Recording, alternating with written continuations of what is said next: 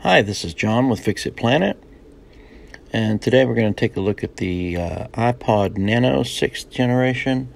We have a battery that isn't holding a charge for very long, and uh, customer would like that replaced.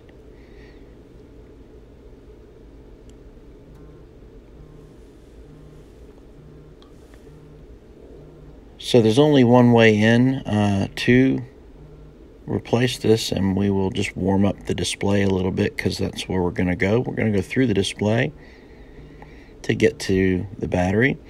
There's a very thin uh, outer perimeter uh, where the display is attached with adhesive. So you don't want to put a tool very far in. Uh, I didn't measure the exact uh, distance, but uh, if you just pay kind of close attention, you'll see that I'm not putting the tool very far in. So there's a cable uh, that you do have to watch out for, and it's on the other side. Um, so it kind of opens up like a book. Uh, if you have the power button uh, top side and you're looking straight down at it, then it would be on, um, on our left. So on the left hand side, as the screen uh, is now, that cable for the display is uh, located on that left side.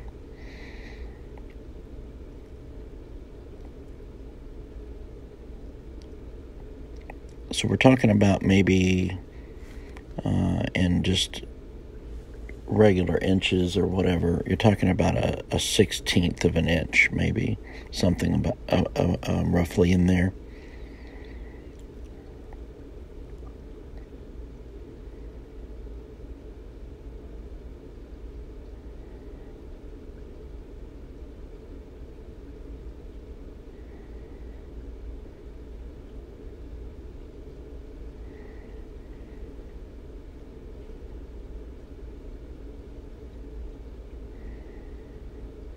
So we're just checking the screen uh, sort of throughout the process of removing it just to kind of keep an eye on things and make sure we haven't done any damage to the display.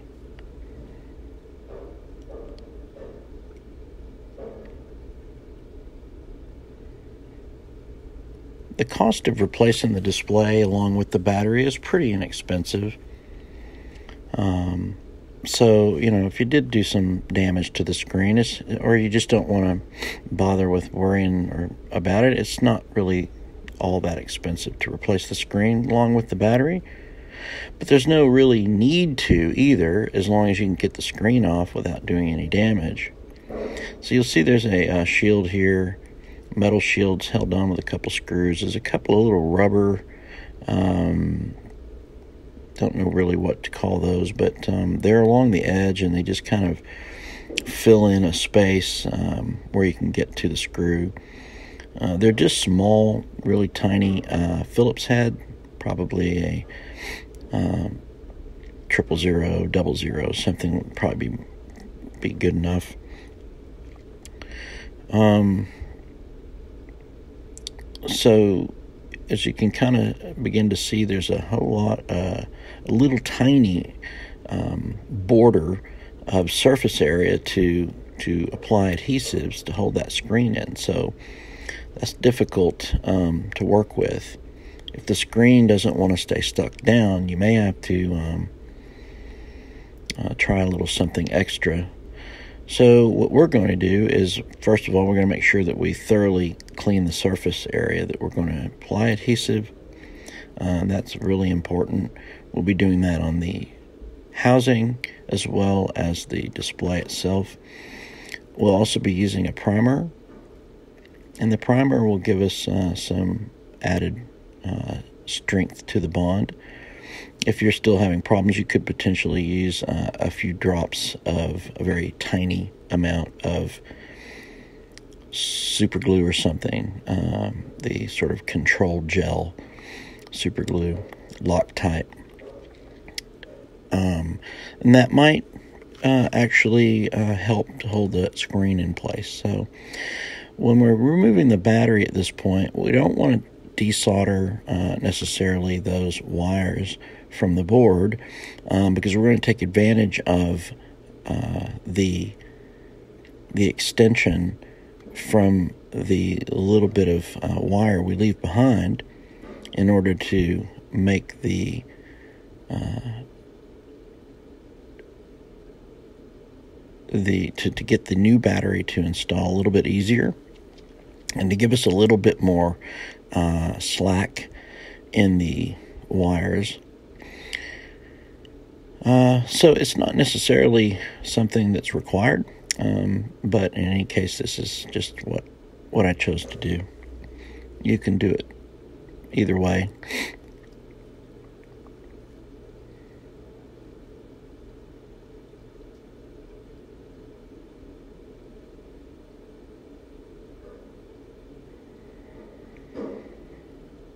So we're going to uh, just strip a little bit off of the ends of these wires so that we can apply a little flux and some solder onto them and get them prepped and ready to put the new battery on.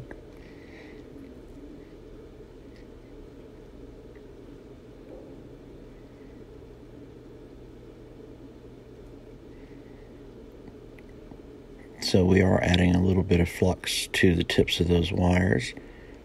And now we'll apply a little bit of solder to those ends.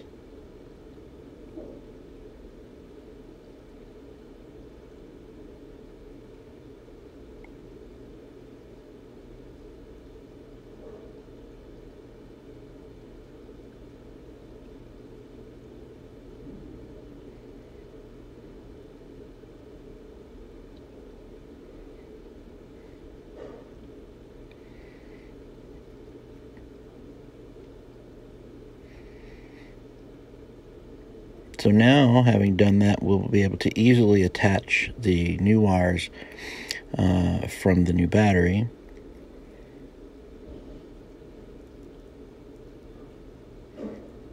without any real trouble. So we're going to um, have two wires though uh, that are exposed and could potentially touch uh, once everything is closed up and put back together. We don't want that.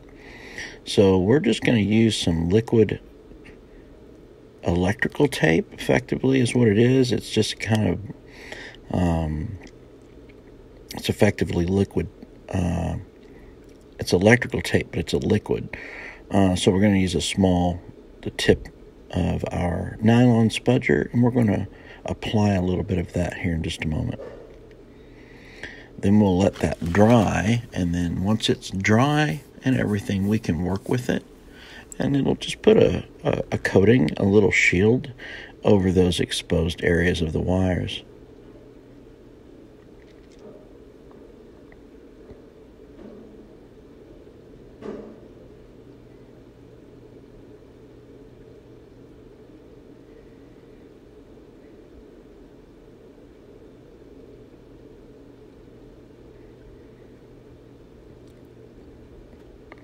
So the little black gooey looking stuff is the liquid electrical tape and it's perfectly safe.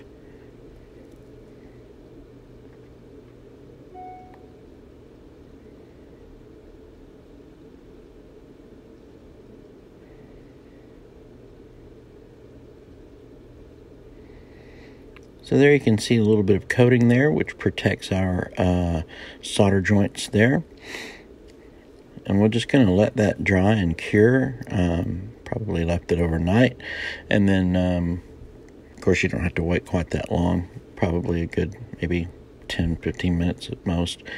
But we let it dry probably overnight. Went on to some other repair, but in any case, we come back the next day. It's plenty dry, and we can work with it. Now we're going to um, have to place this battery in a certain way. I, uh, I think starting to try and fit it in here this direction, it won't work. So we're going to put the bottom side of the battery in first, and then it'll set right back down in there where it goes. No problem. Bit of adhesive on the underside of that battery will kind of keep it in in in place. Now we need to tuck these wires in, uh, and they this is kind of important. Um, we need to uh, fuss a little bit over it and make sure those wires are going to stay uh, neatly tucked in, uh, somewhat between the battery and the little logic board. so that they're not uh, in any way pressing upward on the screen.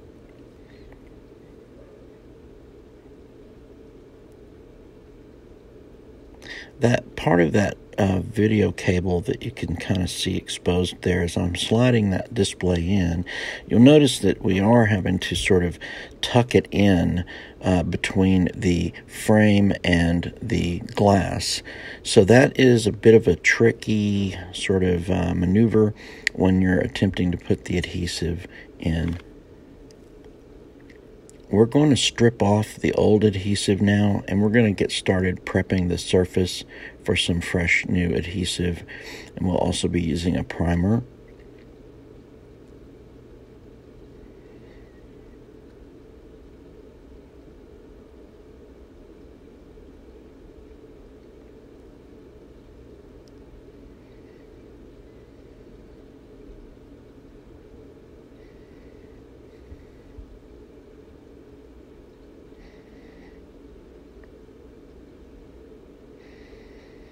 Sorry, I'm getting a little bit out of frame there.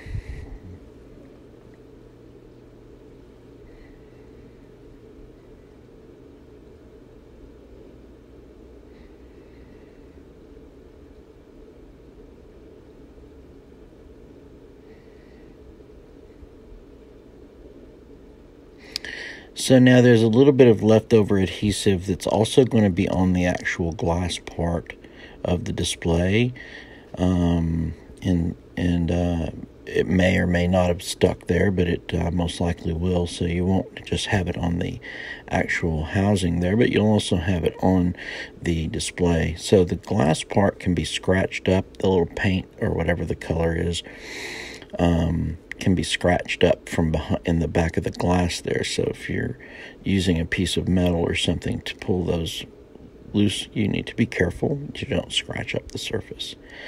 This is the primer that I spoke about. Um, these are just little uh, sticks that you can purchase. Uh, they're one-off use. Um, basically, you're just going to break them uh, internally, and that uh, releases the primer into the little uh, cotton tip. And now we're going to use that to coat the surface of the area where we're going to add the fresh new adhesive. So put a little bit on the back side of the glass as well as on the frame. And um, it doesn't look like um, this there was probably a point in time where I uh, used a little bit of alcohol to sort of clean uh, those surfaces a little bit better. Doesn't look like it made it into the video, so you might keep that in mind as well. Um, we're going to try and uh, put these little pieces of rubber back where they go. Um, and apply a little adhesive uh, primer rather on top of those as well. Um, so that's um, kind of weird uh, so to speak. We have a um, very small area on this side in which to tuck in that part of that cable that's exposed there. Um, so that's again going to be a little tricky. Uh, we're going to use, um, I believe this is probably a two millimeter width.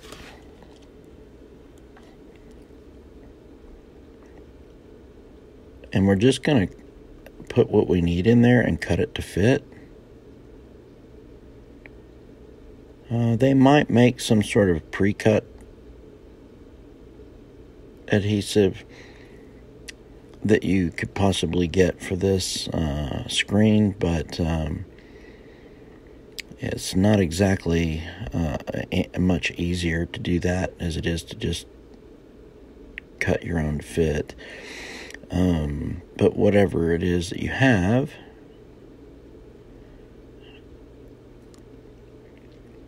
is up to you.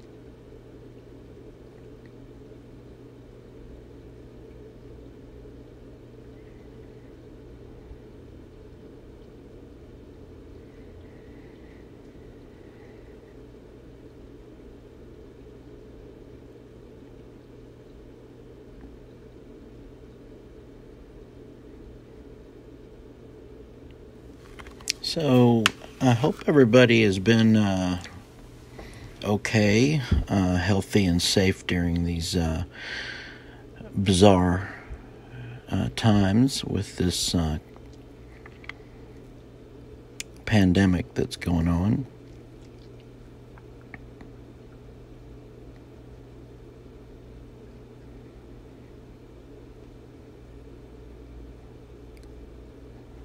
In our case, we've had uh, quite a lot going on. In fact, uh, we've been really pretty busy, and um, we've added some new equipment and some other things involved in our particular uh, business that we needed. So, um, yeah, I mean, we've been doing okay.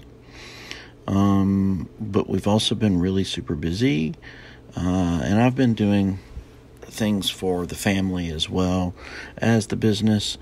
So I've been super busy and haven't really had time for uh, to upload any videos. But uh, uh, besides this one, there's at least uh, another one that's um, pretty much ready to go. Except I'm waiting on a uh, essentially a new computer. Um, the one I've been using for video editing um, is not uh, is not it's not working quite well enough for that and uh, just got another one. Um, it's actually a uh, a custom built uh, Dell Alienware, and um, so I'm pretty excited about that. Um, but uh, it's being built now as we speak, and um, once that is ready, I'll be able to go ahead and finish editing uh, this other video. Now, some of these I can do right on my phone, and they don't need the computer necessarily, but the ones that do need the computer, I need something useful that will actually do the job. You can see that the adhesive that we're using here is just slightly larger uh, in width that we really need, so we're going to have a little difficulty getting that to slide underneath there. But once we get that in there, it'll work to our advantage a little bit and uh, give us a little more um, surface area to sort of uh, stick to. But you couldn't really get anything much wider than that. Um, if this is a 2 millimeter, then I guess that would make the surface area just maybe a little over 1 millimeter something along those lines. I think I mentioned uh, 16th of an inch uh, earlier, so somewhere in that ballpark. Again, I didn't measure it, so I don't know exactly what that width is.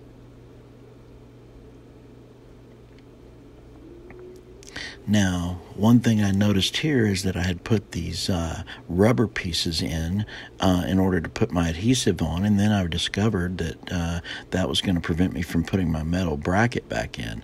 So that became kind of a uh, a moment of frustration for me.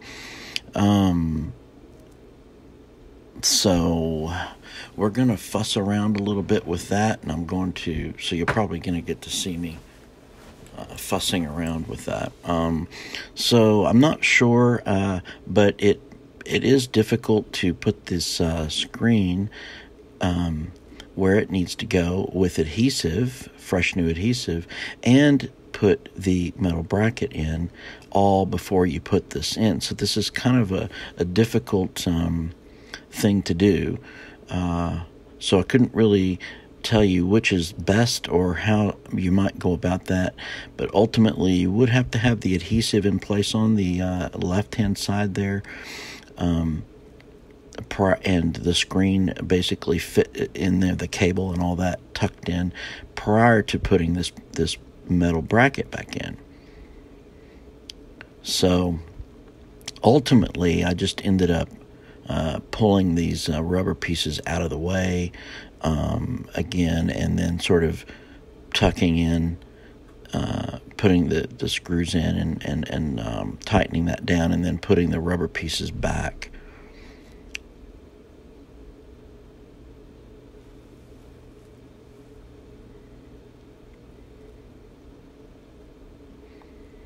So I was not real thrilled with um, that sort of process.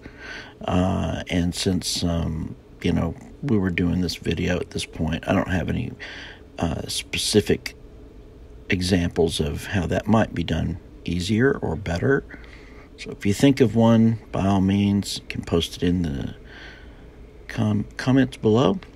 Once we have everything um, basically back where we want it, though, we can go ahead and seal this uh, screen down, and uh, basically you're done. Um, again, there's a nasty little screen protector on there so that uh, that mess that looks like delamination is just his screen protector.